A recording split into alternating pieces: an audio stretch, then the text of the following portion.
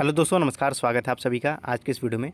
तो दोस्तों SSC CGL 2023 revise result को लेकर एक अपडेट है आप सभी के लिए, गुड न्यूज़ है आप सभी के लिए। तो फटाफट आप सभी को बताता हूँ गुड न्यूज़ क्या है और दोस्तों, उससे पहले अगर आप चैनल पर नए हैं तो चैनल को ज़रूर सब्सक्राइब कर लिए बेलाइकन ज़रूर प्रेस कर लीजिएगा और वीडियो को ज़्यादा से ज़्यादा शेयर कीजिएगा। ठीक है? तो दोस्तों, जैसा कि आप सभी को पता होगा कि एस एस सी का जो अभी रिज़ल्ट आया, रिज़ल्ट में आप सभी ने देखा अभी कि एसएससी ने 8.42 टाइम्स कैंडिडेट सेलेक्ट किए जिसकी वजह से कट ऑफ़ बहुत हाई चली गई।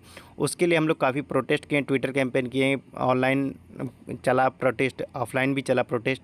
तो सारा कुछ हम लोगों ने किया, कई जगह पर मिले मिले लेकिन अभी तक कोई एसएससी की तरफ़ से अपडेट नहीं था कि क्या चीज़ चल रहा है। लेकिन अभी कल जो है, आप सभी ने देखा होगा ई e रीजन का, आप सभी को पता होगा कि मेंस का एग्जामिशन जो है, पच्चीस, छब्बीस, सत्ताईस, तीन ठीक है, दिन में है, अक्टूबर में ही है। ठीक है तो अभी ई आर रीजन का यानी कि ईस्टर्न रीजन का स्टेटस लिंक आउट हुआ था, कल ही जो कि हुआ था।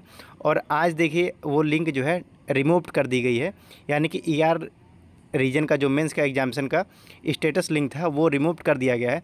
अब देखिए, ये हम लोग के लिए एक तरीके से कहा जाए तो हो सकता है पॉजिटिव साइन भी हो, या फिर हो सकता है ये एक टेक्निकल ग्लिच हो। ठीक है तो जैसा कुछ है, अगर टेक्निकल ग्लिच होगा तो कल तक तो वो क्लियर हो जाएगा।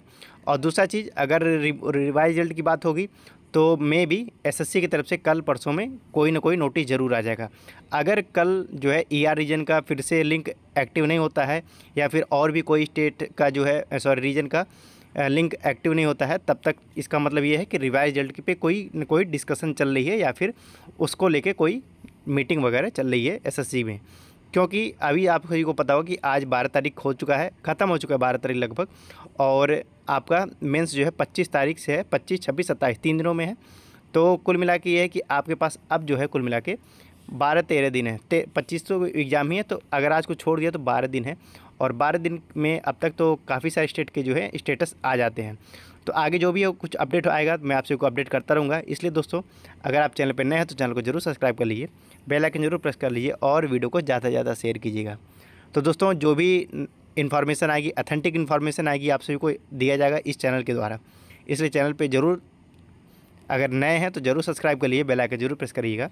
और साथ ही साथ हमारे टेलीग्राम ग्रुप से भी ज़रूर जुड़ जाएगा लिंक डिस्क्रिप्शन बॉक्स में है। Thank you